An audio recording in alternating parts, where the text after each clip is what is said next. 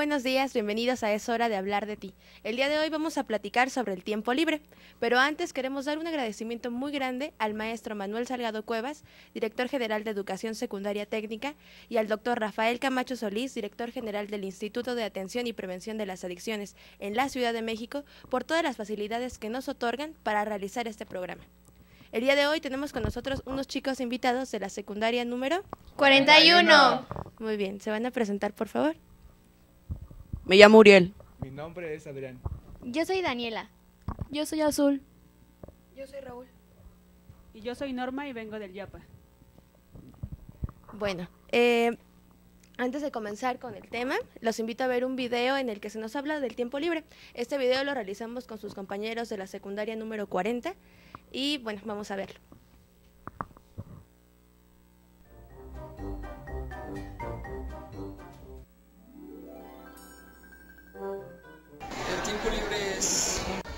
Pues es descansar, distraerme de las obligaciones. bueno, que tú ocupas para hacer otras cosas o que tú te ganas al hacer unas cosas. Es algo que tú haces cuando, cuando no tienes deberes o algo que hacer, puedes hacer varias cosas.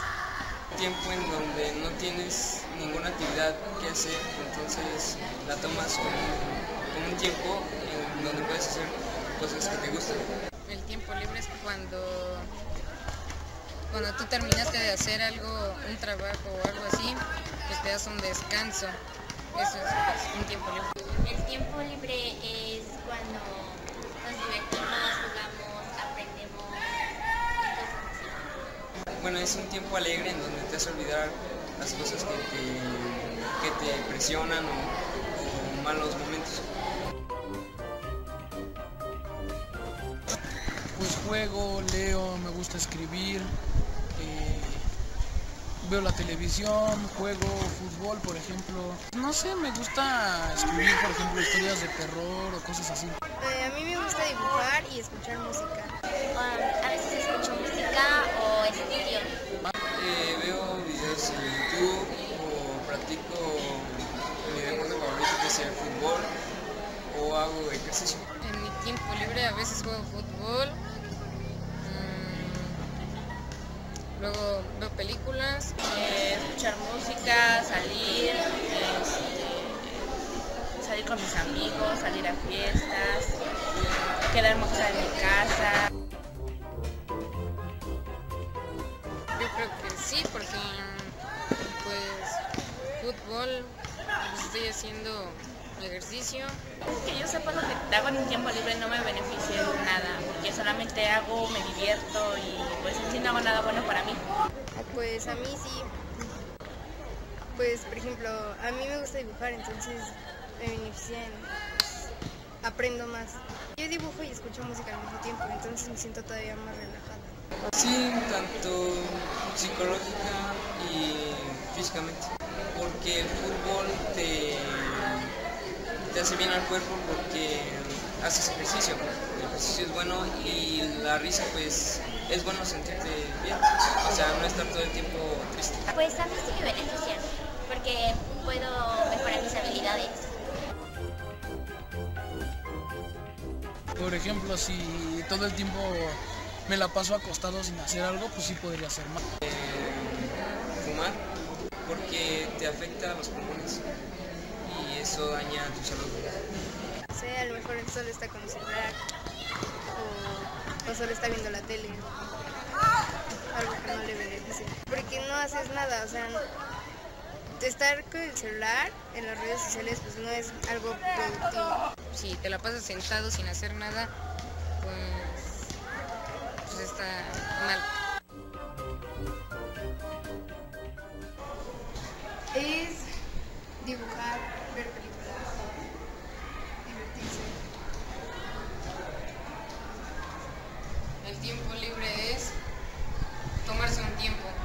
el tiempo libre es salirse de la rutina, hacer lo que te gusta. El tiempo libre es un descanso y un desahogo. El tiempo libre es salir, hacer otras cosas que tú no haces para descansar todo lo que tú haces a diario.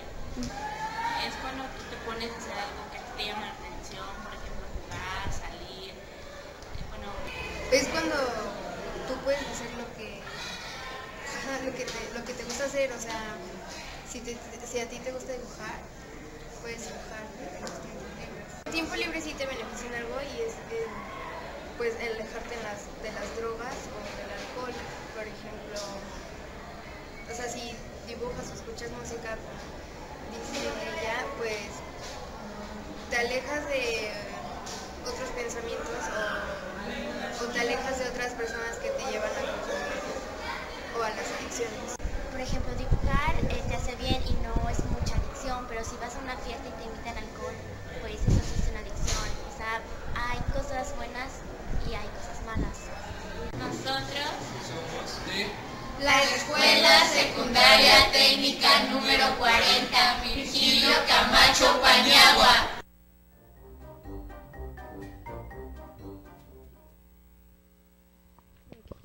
Bueno, eh, antes que nada quiero pedirles que ustedes les manden un saludo a sus maestros y a sus amigos de la escuela. ¿Alguno? Eh, bueno, yo quiero mandar un saludo muy especial a todos mis amiguitos, a los de mi grupo y a mis profesores. Todos son muy buenos. ¿Alguien más? Ah, bueno, yo le quiero mandar un saludo a todo mi salón y a mis profesores. Y yo a todo mi salón los quiero. Muy bien. Bueno, ahora sí vamos a empezar con el tema. Quiero que ustedes me digan qué es el tiempo libre. Bueno, para mí el tiempo libre es una forma de relajarse, eh, desestresarse de un modo haciendo actividades que nos gusten, eh, alejarse de, lo, de las actividades cotidianas. Para mí el tiempo libre es como romper la rutina, ¿no? Es como un tiempo libre para ti. Por ejemplo, estás en cierto tiempo una presión de una materia o algo, pues tú simplemente dices, no, pues tengo un tiempo y me relajo. Am, el tiempo libre para mí es un tiempo que te das para ti o para estar con tus amigos o familia y te relajas, te diviertes y te desestresas de todo lo que es, no sé, el trabajo, la escuela, cosas así. Bueno, para mí sería como el tiempo que te queda después de hacer todas tus obligaciones y que puedes hacer lo que tú quieras, ya sea pintar, escuchar música o cosas así. Pues bueno, para mí el tiempo libre es desde las cosas que hacemos cuando, no sé, que acabamos así de nuestras tareas o hacemos lo que nos mandan. Son este, cosas con las que nos divertimos y pasamos un buen rato. Ok, pues el tiempo libre, efectivamente, como lo dijeron los chicos de la técnica 40 en el video, como lo acaban de mencionar ustedes, es un tiempo diferente al tiempo de trabajo, al tiempo en el que estudiamos. Es un tiempo que dedicamos sobre todo a satisfacer nuestras necesidades personales, ya sea de afecto, ya sea de aprendizaje, etcétera. Por lo tanto, es un tiempo no formal en el que también aprendemos. A ver, sus compañeros mencionaban varias actividades en el video, que les gustaba pintar, dibujar, este, salir. Quiero que me digan con cuál de esas actividades se identifican o cuáles son las que realizan ustedes. Bueno, a mí me gusta jugar mucho fútbol. A mí como que lo que más me gusta a mí es salir, o sea, divertirme. Mm, Yo hago muchas cosas. Eh, a veces leo, escucho música, veo la televisión, eh, practico algo, este, gimnasia, salgo un rato a caminar, muchas cosas. Ah, bueno, yo practico clavados y si tengo más tiempo, mm, escucho música o toco el piano. Bueno, a mí lo que más me gusta hacer es este, estar en, en Facebook o ver videos en internet o a veces así también salir a hacer deporte con, con mis amigos. Y entonces aquí en, en los ejemplos que ustedes nos dan y también los que nos compartieron nuestros, nuestros alumnos de la Escuela Secundaria 40, es que generalmente lo que hacemos en el tiempo libre son actividades que nos producen placer, son actividades placenteras con las que nos sentimos a gusto, ya sea nosotros mismos, así solos, o, co- o acompañados. El punto es que nos sintamos bien nosotros, ¿no? A ver, por ejemplo, quiero que me digan, por ejemplo, tú practicas fútbol. ¿Cómo te sientes cuando practicas fútbol? Me siento cómodo, me siento como que me desestreso, es una forma de liberar mi estrés. Yo, por ejemplo, como dije, salir es romper la rutina, es como algo nuevo, ¿no? Ya sea un lugar nuevo o lugar cotidiano, pero simplemente, pues, algo que a ti te guste, ¿no? Mm, a mí es algo que me gusta, me hace sentir bien, me hace sentir feliz. mm, me gusta. Bueno, a mí igual, como mi compañero, me desestresa porque principalmente me preocupa estar así. Bueno, me mantengo mucho en la escuela, entonces luego me preocupo. Cuando llego a los clavos me desestreso y olvido que tengo escuela, básicamente.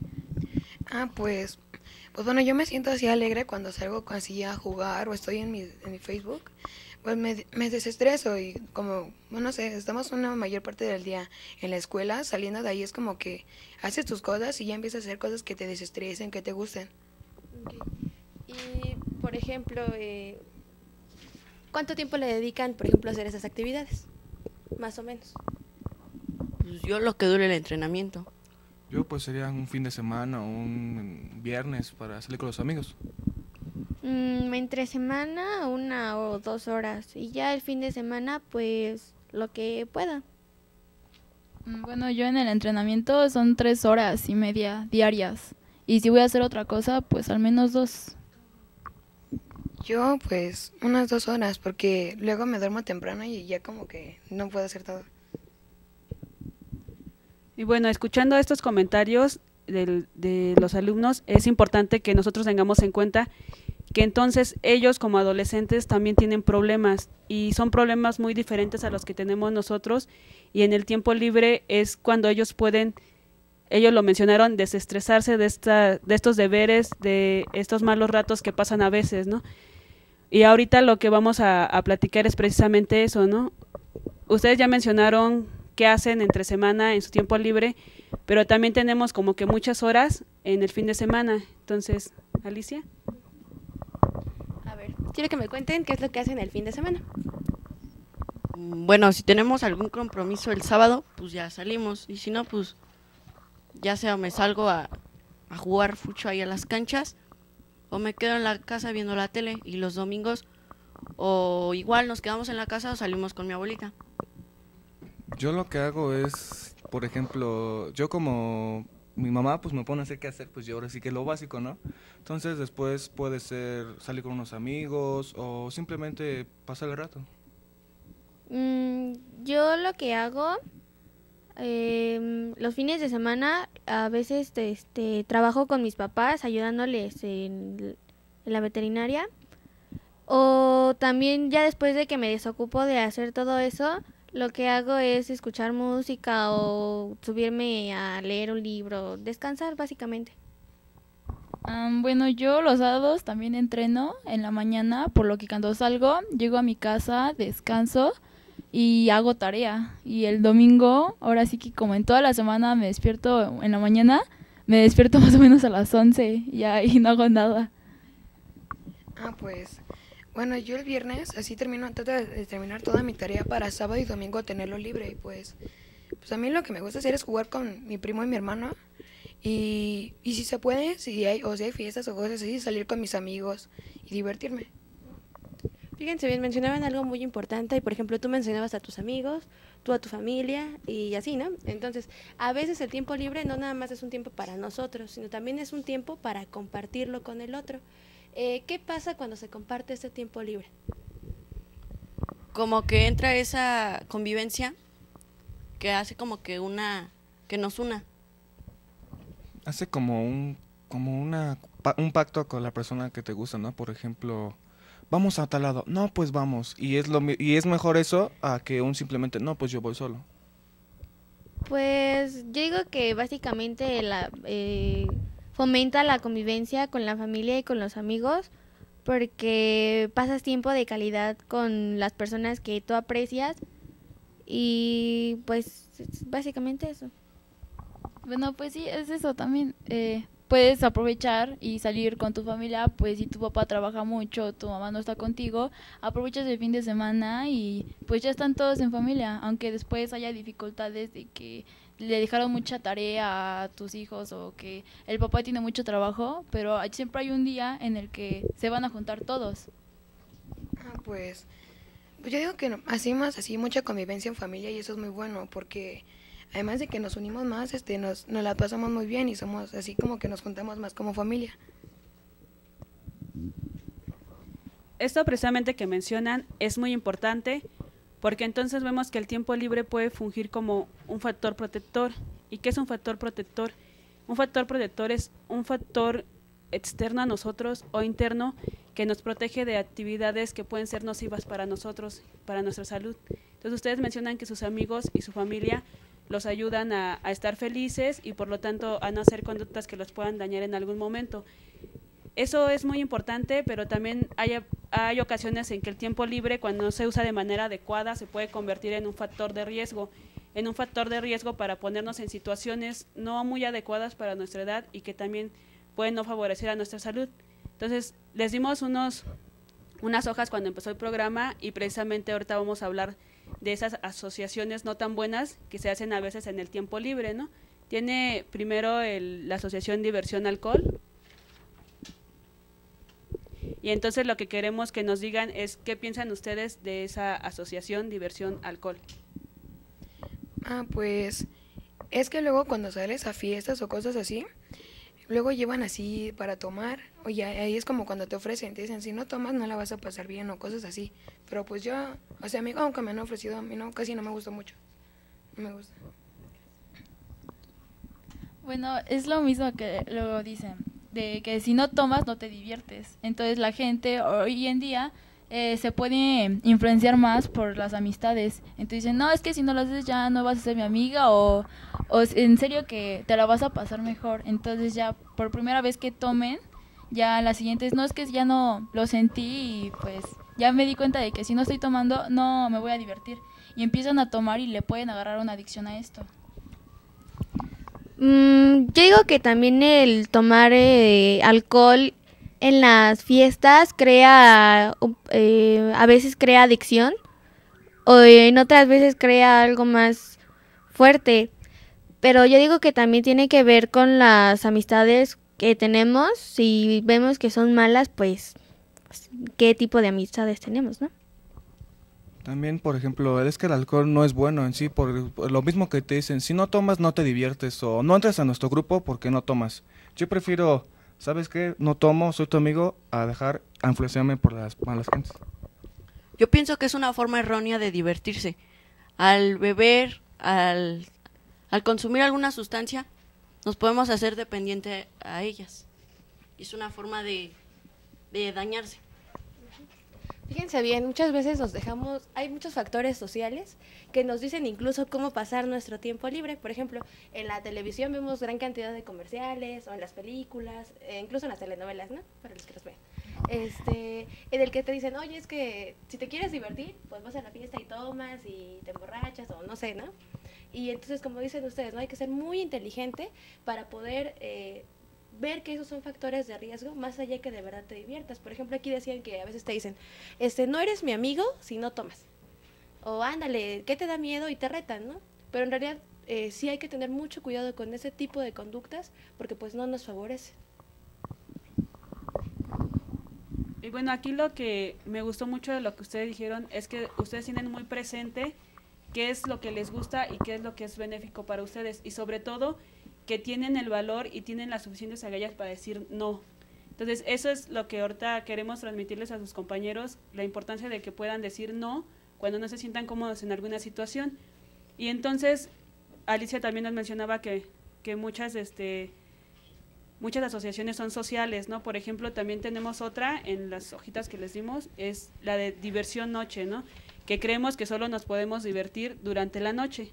Entonces, ¿ustedes qué piensan de eso? Bueno, yo sé que ustedes realizan muchas actividades muy buenas durante el día y ya nos las han contado, pero ¿ustedes creen que realmente hay mayor diversión en la noche? Bueno, pues es que la verdad, hay, hay veces que sí, por decir en fiestas, las inicias así en el día, bueno, y en la noche, pues yo digo que no, no es más divertido, yo hacer lo mismo, pero en la noche como que casi no, además de que te da sueño, pues o hasta te cansas más, porque estás de noche ya es como que un poquito más de flojera. Mm, Yo digo que la diversión de la noche depende de cada quien y las personas con las que estés en un ambiente. Porque podrías estar de día en una fiesta y todo bien padre y acá, ¿no? Y en la noche y todo el ambiente apagado. Entonces depende de la gente.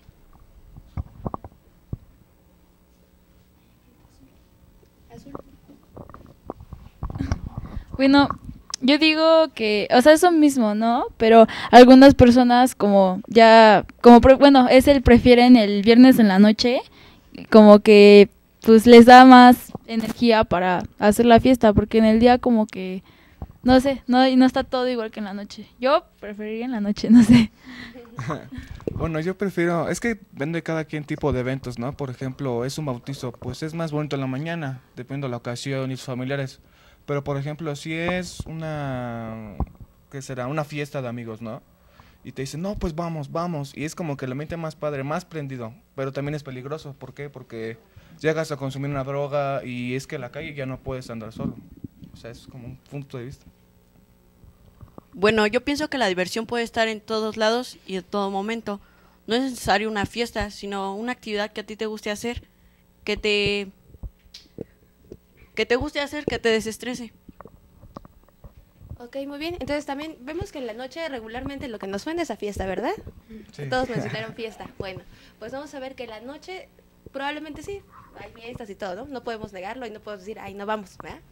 Pero eh, también vemos que hay otras actividades o hay otras alternativas, ¿no? De realizar en la noche. Hay paseos culturales, hay visitas guiadas en los museos, o sea, ir más allá, ¿no? No nada más quedarnos, ay, la fiesta es de noche, no.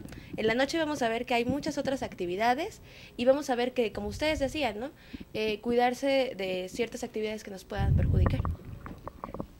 Precisamente porque como lo mencionabas ese, ese rato Alicia, hay este patrones que ya tenemos como muy marcados culturalmente, ¿no?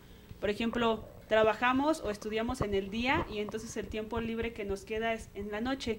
Y entonces lo que nos venden es que en la noche nos podemos divertir y nos podemos estresar.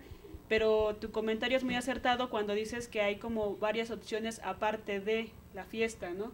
Que es lo que todos mencionan. Por ejemplo, ahorita han sacado mucho la noche de museos, que también es durante la noche y son recorridos muy padres y están en toda la ciudad, a los que se pueden acceder este, muy fácilmente, ¿no? Entonces, después de, de todo esto también tenemos como un tiempo libre más extendido, más allá de, de las clases y más allá de, del trabajo, que se llaman vacaciones. Entonces, ahorita queremos que nos cuenten qué van a hacer en sus vacaciones. Ah, pues, bueno, yo espero salir de viaje en vacaciones y poder visitar a mi familia que está en Michoacán.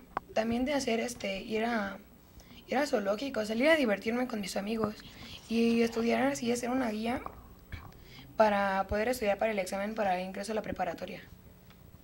Bueno, yo eh, vacaciones no, en clavados no me dejan tener vacaciones, o sea, tengo entrenamiento en la mañana y en la tarde, pero pues me gustaría, no sé, hacer, como mi papá sabe dibujar, me da clases de dibujo, entonces me gustaría invertir más tiempo con mi papá y pues eso, no sé.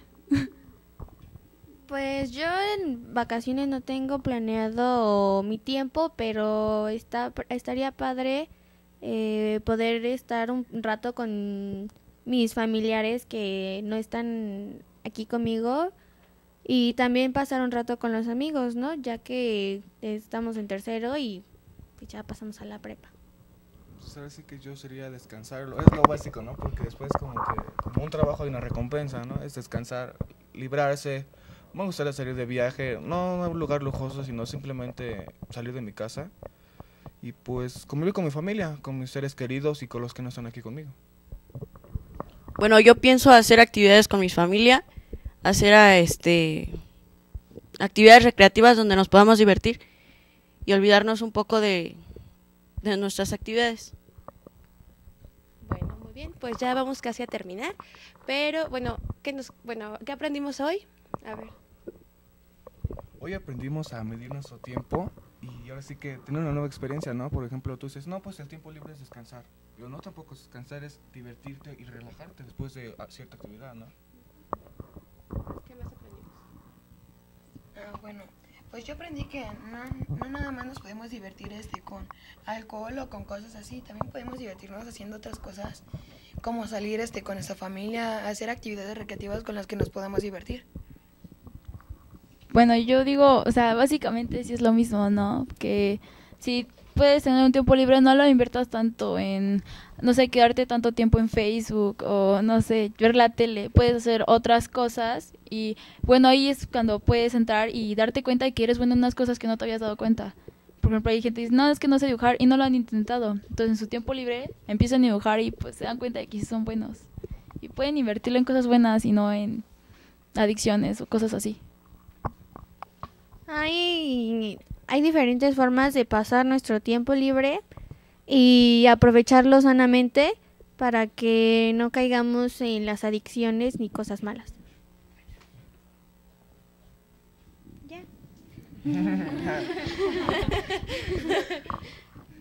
Bueno, pues sí, efectivamente, como que el resumen es esto, ¿no? Utilizar nuestro tiempo libre en actividades que nos hagan sentir bien, en actividades que nos hagan felices, pero también, como mencionaba Azul, en actividades que fomenten nuestro aprendizaje, ¿no? Que nos hagan mejores personas y que nos hagan conocer el mundo desde otra perspectiva. Sobre todo, lo interesante del día de hoy es que pudimos escuchar otras versiones de lo del tiempo libre. A veces tenemos a ser muy individualistas y a quedarnos con lo que nosotros creemos que es correcto. Sin embargo, si ya escuchamos a nuestros compañeros, ya los escuchamos en el video, ya los escuchamos aquí eh, personalmente y pues coincidimos en muchas cosas. Entonces, si pueden volver a hacer este ejercicio con sus compañeros en sus escuelas, pues sería muy bueno. Muy bien. ¿Alguno de ustedes quiere agregar algo más antes de irnos? ¿No? ¿No? ¿Otro saludo? ¿No? Bueno, muy bien. Entonces me van a decir bien fuerte de qué escuela son. De la de Secundaria Técnica 41. Ah, muy bien. bueno, pues les damos las gracias por este estar con nosotros. Nos vemos en nuestro próximo programa y esto fue Es hora de hablar de ti. Gracias. Adiós.